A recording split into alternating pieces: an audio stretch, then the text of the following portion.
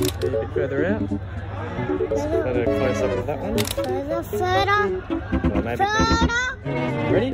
We're gonna get all four T-buckets. There's one photo. That was good, wasn't it?